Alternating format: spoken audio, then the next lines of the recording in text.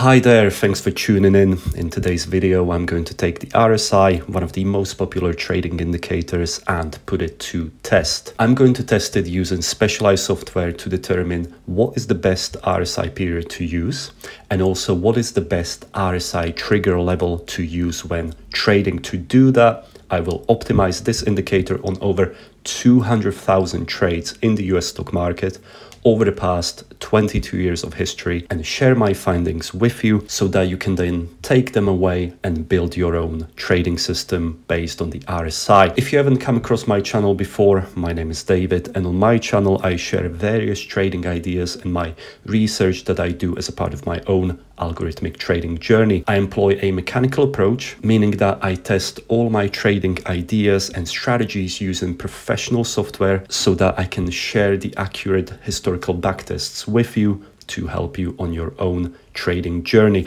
Now, I'm not going to explain in detail how the RSI is calculated, but in general, it is what's commonly referred to as a trading oscillator. I have it shown below my price chart in yellow, and we can see that it tends to oscillate in a certain range of values, denoted by the two red horizontal levels.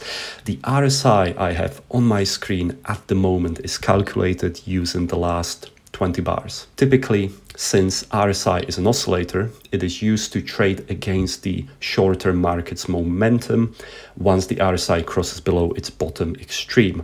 For example, here we can see that it crosses below the bottom red level, which would be a buy setup. In this particular case, it would have worked, as you can see that the market has reversed at that point. The rationale of using RSI in this way is to find short-term reversals in the market. As when the RSI gets to its extreme levels, market is likely to reverse. But what exact RSI period to use and what exact trigger levels to choose. In this example, I'm using level 40 as the bottom level, but perhaps we can get better results when using different level. Same goes for the RSI period. I'm using 20, but how would the results differ if I use 10, for instance? Well, let's have a look at what the data is telling us. As always, I'm going to write a simple code and have it validated on historical data. I'm not going to do anything by hand as it introduces a lot of human error potential and is very time consuming. I ran optimization of the RSI period ranging from 2 to 20 on all US stocks that belong to Russell 2000 index, so 2000 stocks at any given time. The range I ran this analysis on was from year 2000, so just over 22 years. The total aggregate trade count of all these iterations shown on my screen is in excess of 200,000. So let's see how this data looks like when visualized. This bar chart shows the total net profit by RSI period. The relationship is very clear here. The shorter the RSI period is, the greater the net profit. This on its own, however, doesn't really do the justice though, because the net profit is a direct result of the trade count. Now, as the RSI period rises, the trade count decreases, resulting in lower overall profit. Let's therefore have a look at one of my most favorite metrics that I look at when developing my algorithmic trading systems, the Sharpe ratio. I'll make a separate video on this subject at some point and so I'm not going to go into too much detail, but in general, this ratio essentially translates into how consistent the profit and loss distribution is.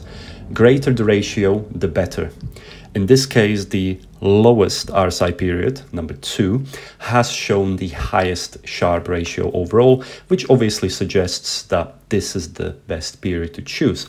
I'm therefore going to take the RSI 2. Next up, let's determine the trigger level. Looking at the backtest results of trading RSI 2 and buying the SPY, which is the ETF that tracks the overall um, US stock market represented by S&P 500. Whenever this indicator is below the level of 50, we can see that the actual RSI value can differ quite a bit. What we'd like to do is to limit RSI entries further by saying that we only buy the market when the RSI's value is below a certain trigger level 40, for instance. This should filter out some of the trades uh, that we can see in this table, but is likely to improve the results. And again, as I like to quantify everything in my trading rather than to assume based on a couple of cherry picked trading setups, let's have a look at what the data is telling us. On this screen, we can see a chart that shows a relationship between the RSI2 level shown on the horizontal axis and the resulting mm, size of a profit on a trade in percentual terms shown on a vertical axis. The most important element of this chart is the red line in its center though, which if you look closer is not perfectly horizontal. It rises ever so slightly to the left, uh, which suggests that there is a relationship between the RSI level and the size of trades profit. The lower the trigger level is, the greater the profit tends to be in general. So let's take this further and apply this on the chart. This is a daily chart of a stock ticker AKYA. I applied RSI with period of 2 with the bottom level of 5, which I've taken from the previous chart.